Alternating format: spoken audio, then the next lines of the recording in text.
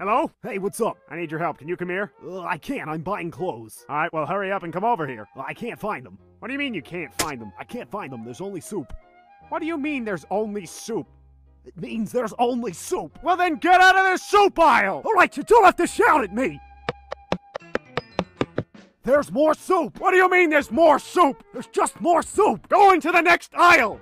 There's still soup. Where are you right now? I'm at soup. What do you mean you're at soup?